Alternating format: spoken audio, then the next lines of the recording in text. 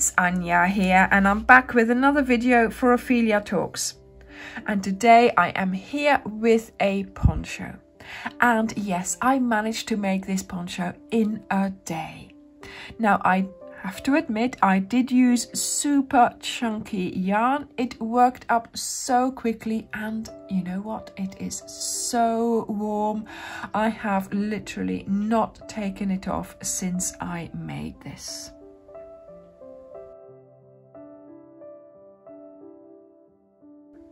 So I set out to make this poncho in a day.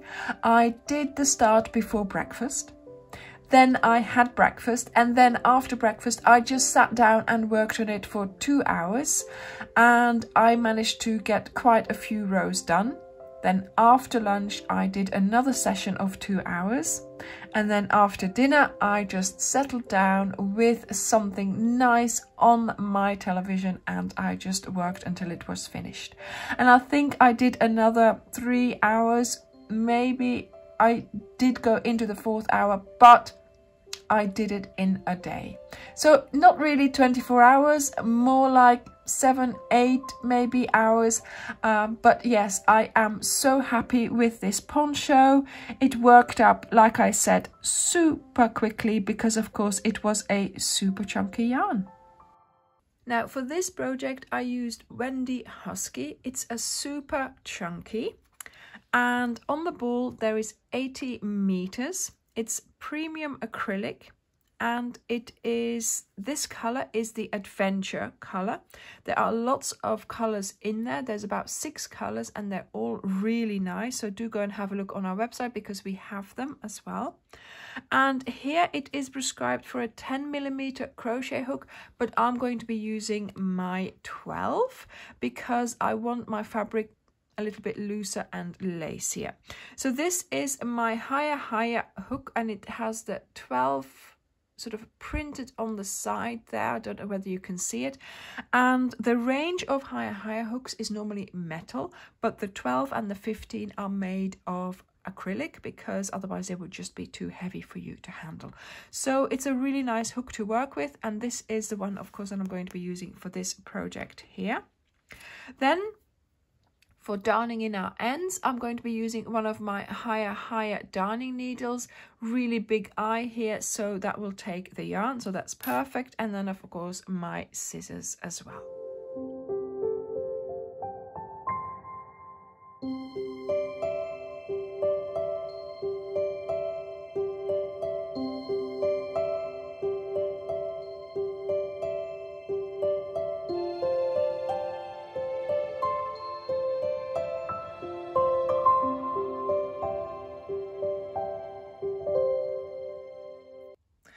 Okay, so let's get started on the tutorial for the poncho. Now, I'm not going to use the Husky because it's um, different colored yarn and it makes it really hard maybe on camera to see the stitches. So I'm going to do it in DK. Now, I'm going to be using my normal hook that I use with DK, but this will also show you how different it is when you make something in thin yarn or thick yarn. So this pattern is designed for a super chunky yarn. So let's get started. First of all, make your slip knot whichever way you usually make it. Insert your hook and we are going to chain 52. Now I'm going to start with chaining 10. So one, two, three, four, five, six, seven, eight, nine, and 10. We have to make sure that our chain actually doesn't get twisted when we make a little circle. So in order to prevent that, I have a little trick. So pull up your loop so it doesn't get undone. Then you go to the first chain you did. You go in there with your hook and you go back to your loop. So now this way we know that our chain as we continue is not going to get twisted. So you pull the loop closed again and now we have to do another 42 chains. One, and two, three, four, five, six, seven, 38, 39, 40, 41, 42.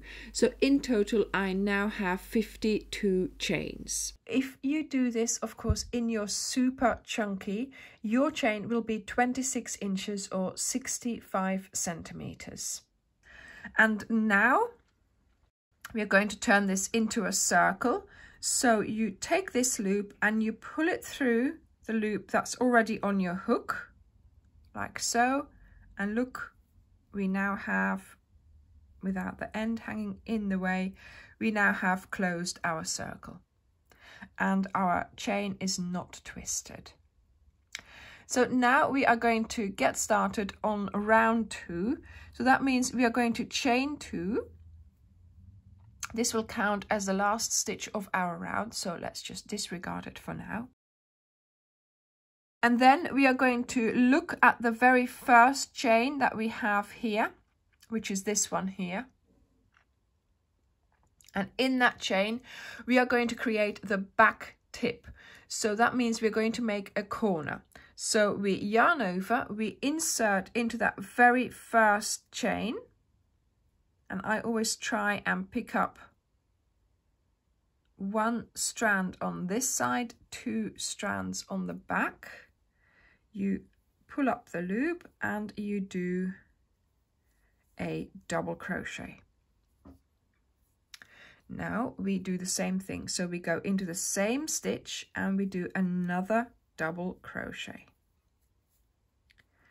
So you've got two double crochets coming out of that first stitch and of course you've got your chain coming out of the last stitch. So there we go. Okay. Now we are going to do two chains, one, two, and then you are going to place another two double crochets into that same stitch.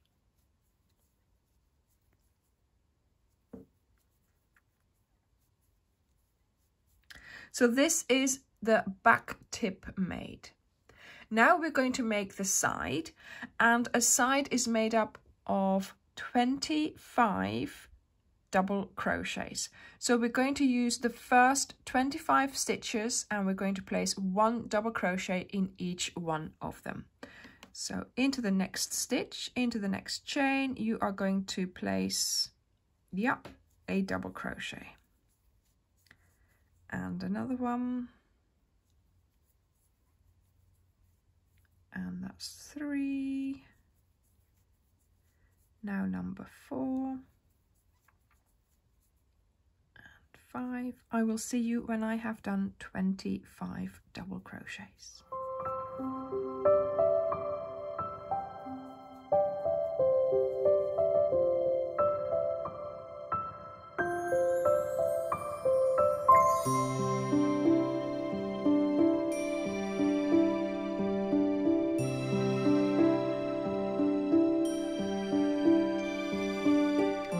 So now I have done my 25 double crochets and now in the next stitch we are going to create the front tip. So that means we are going to do two double crochets,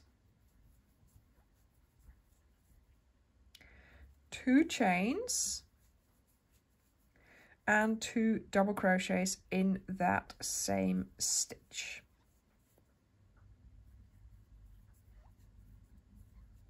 There we go.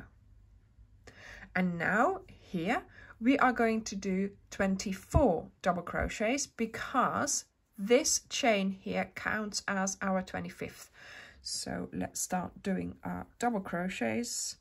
Make sure you don't miss this one here because of course you've used that one stitch here for quite a few stitches so the next one after that is sort of minimized a little bit, but I found it. There we go. So 24 double crochets.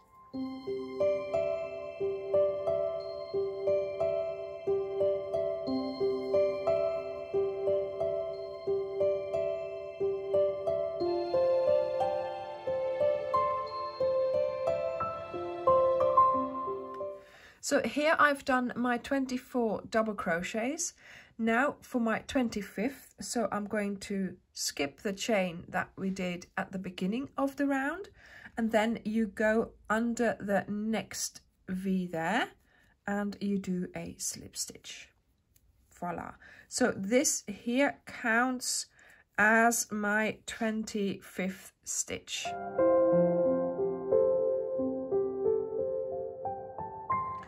So now for round three, you're going to do a chain two, then you're going to place double crochets on top of the double crochets of the row below.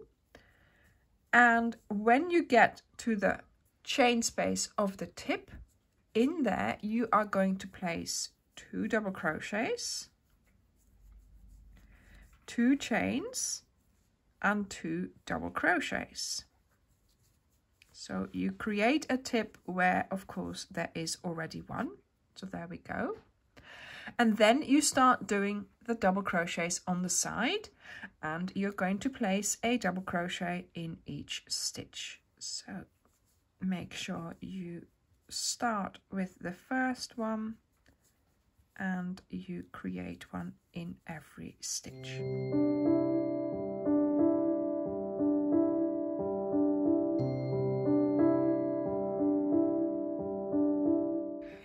Work your way all the way to the other tip, create the corner there, and then you work your way along the side to where we started.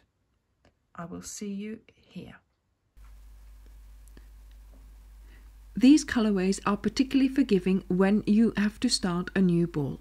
You just tie it on, keep crocheting, and you won't even be able to tell where you started a new ball. So in the ends later on. So I've made it to the end of my round. Here I've just used this stitch. This stitch, of course, is used by that chain two that's coming out of it. So I'm going to go under the next V there and closing my round. So that is where we are at at the moment. And of course as you can see yes it will make a little poncho but of course it's not big enough for us to use. But this pattern as I said before is meant for a super chunky yarn. Okay so your stitches will be much much bigger.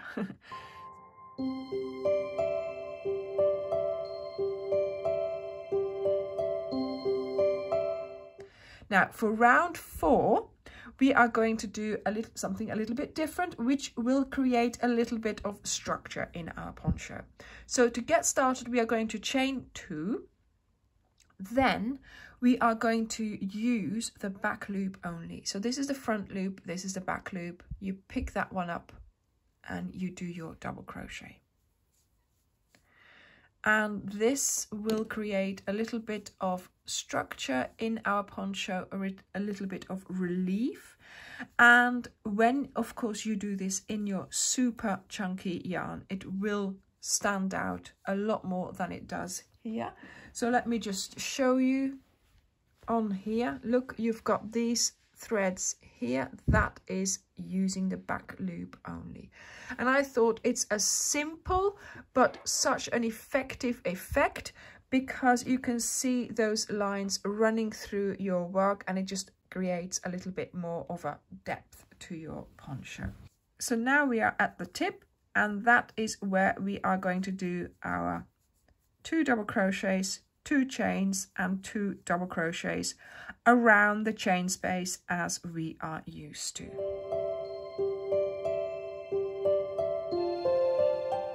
Okay, and then of course we continue, but we are picking up the back loops. And doing this, like I said, gives it a little bit of an interesting effect. So this is what my poncho looks like right now. So let's just finish this fourth round. So skip two stitches here into that third V and you close the round. And then you keep on repeating round three, round four, round three, round four. So round three, just picking up both strands, round four, picking up the back strand. And it is really simple to do.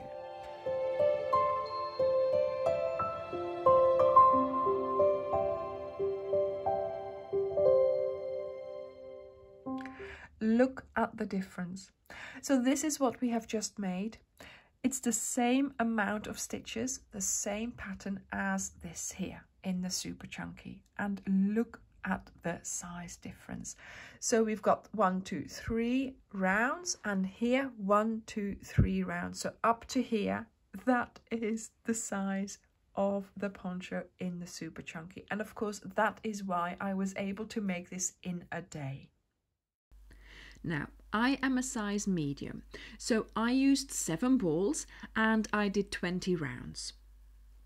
If you are smaller than me or shorter, then you will need less yarn and less rounds.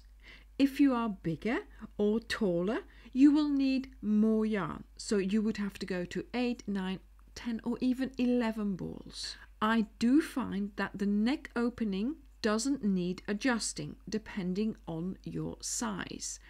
But I would recommend you start with the amount I suggest and then after two rounds try it on to make sure that it fits over your head. If it doesn't, you will have to start again and you will have to add stitches to your starting chain. The multiple is two, so you always have to add in twos.